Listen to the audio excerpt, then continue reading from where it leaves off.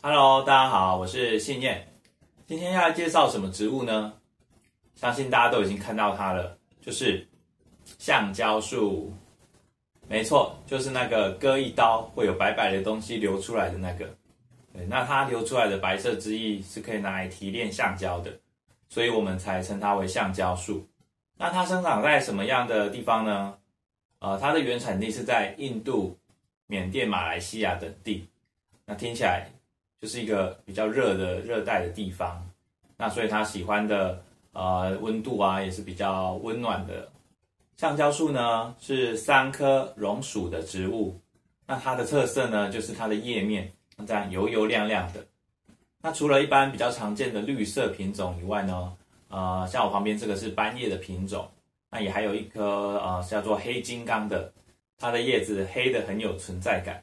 大家可以看看自己的空间比较适合呃比较亮亮面的啊，还是说呃比较绿色，还是比较深色系一点的这个橡胶树。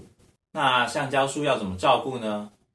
在浇水方面的话，尽量保持土干再浇。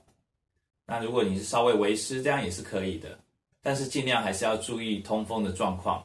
通风的状况要良好一点。那它的生长季是在夏天，所以你夏季的时候浇水的频率可以再多一点。那冬天的话，浇水频率就少一点这样子。那阳光需求呢？它比较喜欢明亮的散光处，像是在一个落地窗的窗边啊，这样是蛮好的。但它也是蛮耐阴的，所以种在室内完全没问题。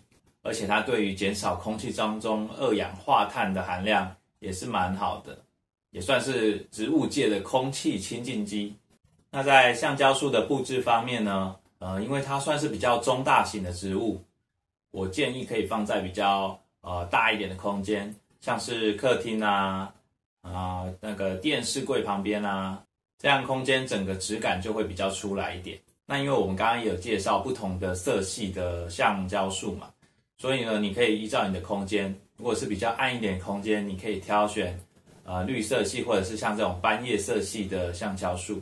那如果像是比较亮一点的空间呢，像都是全白的话，那你可以挑选黑色的黑金刚这个橡胶树。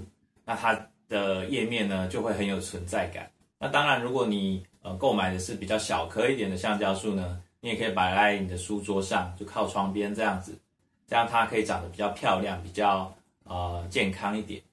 那橡胶树是中大型的植物嘛，所以呃，如果你想要种在户外的话，可能种在门口两旁，这样种两棵，那也是蛮大气的，它可以长到呃三四尺高这样子。